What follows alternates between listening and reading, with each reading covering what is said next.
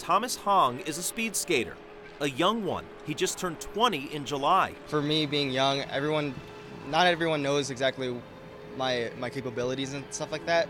So there's definitely some underestimating there. I can sneak up on people. He almost did that a few years ago.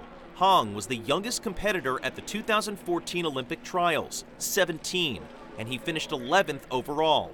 Since then, he's won silver at the World Junior Championships, and he's also a six time national champion in his age group. Everyone's doing the same thing, you know, it's just what, what can you do to, to be better than your competitors? Learning who you are in the sport. It's been an ongoing lesson since he was five years old.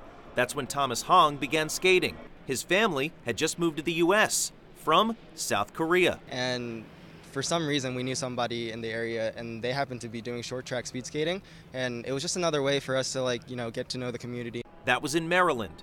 Hong has since moved to Utah to train full time.